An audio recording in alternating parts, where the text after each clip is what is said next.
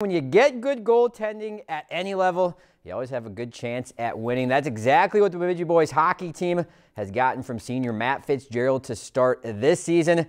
And they're going to need it again tonight, welcoming one of the best teams in Class 2A, Duluth East. And he was busy to start. Look at the glove save here. Incredible reaction. Does his part, 36 stops on the evening. The offense with plenty of chances, especially in the second. Ryan poked at Josh Baker but Parker Clive there with the save. Then the Greyhounds with the dagger third period. Ian Magua beats Fitzgerald out front. What an effort though by Bemidji.